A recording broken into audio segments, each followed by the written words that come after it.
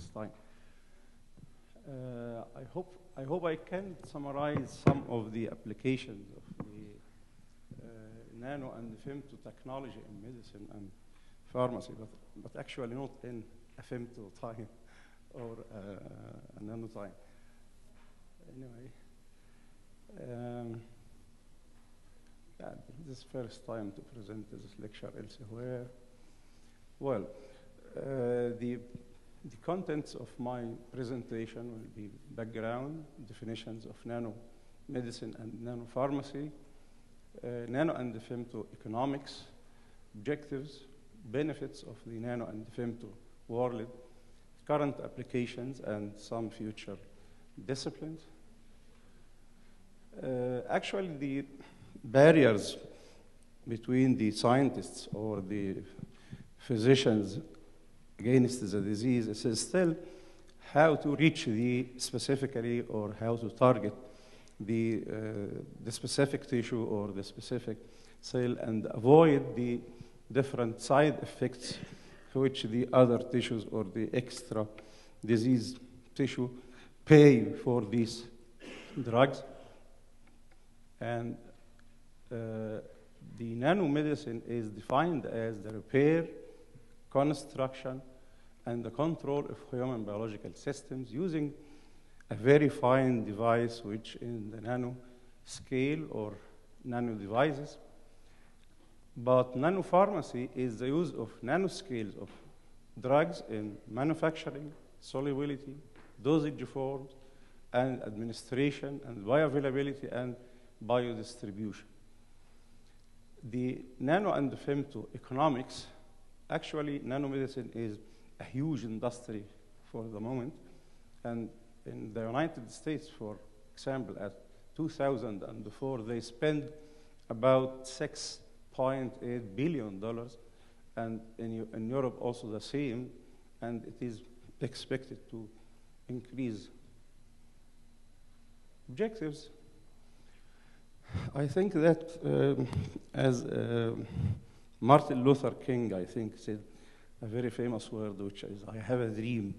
I think the scientists have a dream to find themselves inside the self and to make something and in a minute voyage and then come back safely. I think the, the people will think about that using some vehicles one day. So I mean that the people or the scientists are trying to find a way in a very minute devices to go very specifically to the cell and even to the cell organelles and to make some jobs for the treatment or for diagnosis and combat. Mathematically, I think very important to, to know some about the uh, mathematic uh, uh, terminology here. The biggest number right now is yotta, which is 10 to the power of to 20, uh, 24. This is the largest number. And the reverse is the smallest number is 10 to the power of minus 24. This means that inside this, this is the giga and the, the hepta and the deca and so on. For the nanoscale, it is 10 to the power of minus 9, then pico to the power of minus 12, and femto to the power of 10 to the power of minus 15 the human cell size or the diameter is about 9 micrometer or 9,000 nanometer. But the, the cell pore is about 9, only 9 nanometer. So as you see, the human eye can just look uh, or can see this range only from 1,000 micrometer to 10 micrometer, and the light microscope extends for about 0.1 micrometer, and the electron microscope extends to about 0.001 micrometer. So the, the cellular pores or the nuclear pores or the biomembrane pores are not physical pores. It means it is not a physical hole that we can introduce, for example, a wire through it. But it is a chemical pore. I mean that it is the pores in the cell membrane or in the biomembrane are some structure like transmembrane proteins that allow or prevent some compounds from passing through these membranes. The nuclear pore diameter, which is the specific structure, is around 9 nanometer. The distance between the nucleus and the cell membrane is about 200 nanometers. These numbers are very important in planning for the entry to the cell through the use of the nanoparticle-sized compounds. I think that I talk about the benefits of the use of nano and the femto world in planning to go through the cell. Uh, current applications for the, uh, uh, the nano scale in the medicine and the pharmacy. Of course, all of us heard about the femto laser and the femto correction or the, the laser correction of the, I think about 30 years ago. The current examples for advanced use or advanced application in the nanoscale for first, the cancer management, for example. Uh, cancer management is a very specific targeted manner that could be achieved using nanogold particles which are delivered on some nanophores like polymers. I, I, we have published, I think, about at 2012 a publication about that. By after the absorption of the nano gold particles into the tumor cell, it is exposed to uh, uh, laser or UV. It, it, acquires some temperature, and by this temperature is enough to destroy the, uh, the cancer cell. I think that still in the preclinical phases, but it is very promising. I think it's very close to the human phase. Professor Mustafa Sayyid, he is an Egyptian scientist who was one of the leaders in the work of the management of cancer using the nanogold particles. And he said one day that one gram of gold is enough to treat 1,000 cancer patients. What does it mean? It means that the only one milligram of gold, which I think it may be for free, I think it can treat a cancer patient. It means that will be the cancer management after this application will be very cheap. The, the, this is the, the, the device that Dr. Mustafa Said have, been, have published. Uh, the use of the uh, uh, nanogold particles carried by specific antibodies for the specific receptors on the cancer cell. He, he could discover specific receptors with special protein structure on the, the cell membrane of the cancer cell, and he could design the specific uh, uh, antibody to be the carrier for the nanogold particles and by this way, he could target only the cancer cell. And after the exposure of the, the, the tissue or the body for the, uh, uh, the laser, it acquires, as I, I, said before, a temperature and just destroy the cancer and the, the very close cancer cell, neighboring. So it means that we, in this case, we are not dealing with the, the whole organ. We are just dealing with a very specific mass or a very low mass in the very, very beginning. This also can be used in the diagnosis. Instead of, the, you know, the problem of management of cancer is early detection and the early management of cancer. By using these ways, by time, we can also inject some nanospecific structures and we make scanning, we can see or detect the cancer masses in a very, very early stage, as well as other metal particles than the uh, uh, gold, like boron. I think one of our colleagues has, has talked about the use of boron. Simply, boron also is absorbed to the cell by the same way of gold through a carrier or polymer or nanoshells. And after absorption of the cancer cell by uh, the boron nanoparticles, it is exposed, the cell exposed for neutron, and it, captures this neutron uh, beam and it destroys for many smaller atoms where gamma irradiation is emitted after this fragmentation, which is enough to kill also the cancer cell. This is another modality for the management of the cancer. Professor Zewail, this is the management, and for the diagnosis, for example, or inspection of the changes inside the cell also, Professor Zewail, I think, uh, I don't know if, you, if we remember that, uh, that he, he could do, I think, some sort of miracle. You know that he, what did uh, he took a Nobel Prize in? Yeah, I, I think, just as a reminder,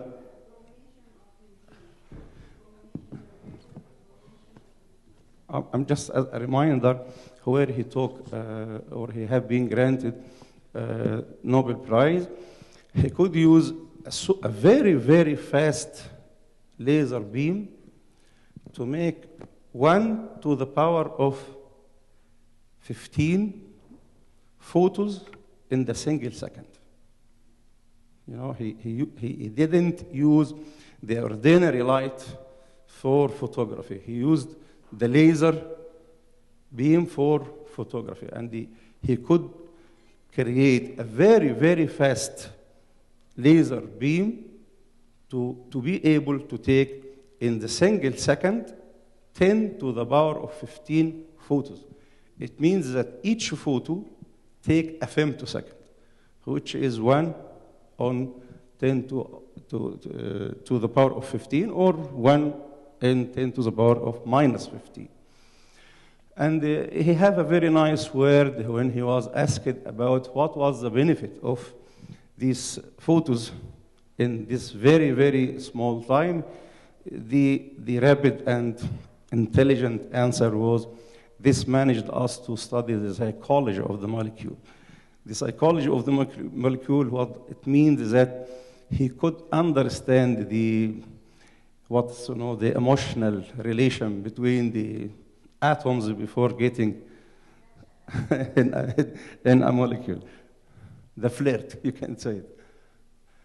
Drug targeting, one of the benefits for the nanogold particles was that positively charged gold particles, if it is, if it is taken by intravenous or by systemic way, it can last longer in the kidney, the positively charged nanogold. It means that if I give, if I give positively charged nanogold particle, I can treat cancers in the kidney, or at least I can target the diseases of the kidney. And negatively charged gold nanoparticles can remain in the liver and the spleen, and can behave likewise. Femto laser vision, I think it is yeah, very common, we can't say, but in, in brief, the ultra-fast change in the cis retinol molecule that is found in the uh, shapes of the retina, like this. It is in the cis position. This is the cis retinol. You know, imagine it takes just 150 femtosecond to be converted from the cis to the trans retinol. This is the sensitivity for the night uh, photons or the night vision. And they could use also the laser for correction the people's correction for the people who have problem in the night vision. Ultra uh, short uh, uh laser uh, uh, laser beam which correct this structure in the the rod shapes of the retina. The same for the femtosecond laser neurosurgery. The, co the conventional lasers make massive heat in the, the, the, tissue and the surrounding tissue. So it makes the tissue damage, a lot of tissue damage. But the use of nanosensors and femtosecond laser, which is very, very short, we can, we, the, the physicians could just make incisions on the very minute places in the nerve endings. Thermotherapy and phototherapy, ablation or ablation therapy, of course, this is a classical uh, uh, way for the treatment, either by heating the cancer tissue from 15 to 70 degrees centigrade. So the, the cancer cell is much more sensitive for the temperature changes. If the temperature rises from 15 to 70, the cancer cells can be killed. And cryotherapy also about minus 40 degree. I think this is very famous in China.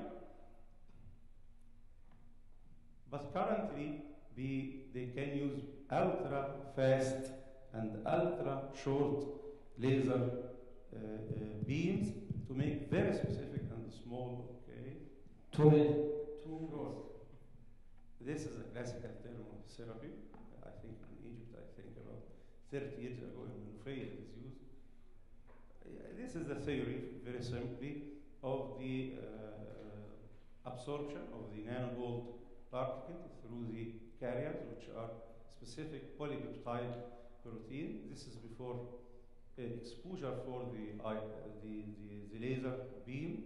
When just absorbs the laser beam in a very short way, it destroys the cancer cell, as I said. Uh, nano uh, chemotherapy of cancer, they could use uh, they could use polymer capsules in a nano size or a nano sized form for about less than one micrometer in diameter, surrounded by the, the nano structure of the gold also and can, can manage can be managed to the uh, or can be, can be targeted for the cancer tissue. Um, same. Future disciplines, you know, the, the, the people are planning to use the, the, chemical materials in a nanoscale because in the nanoscale a lot of changes which are not ordinary for the, the molecules are faced changes in the phys- physical and solubility and bioavailability. The surgery is the same. Uh, I don't know if I can translate this final word in English before telling in Arabic. This late uh, poet, which was Palestinian poet Mahmoud Darwish, if you remember, he said one day that uh, little of land is enough to meet and the peace comes. وقليل من الأرض يكفي لكي نلتقي ويحل السلام. Thank you so much.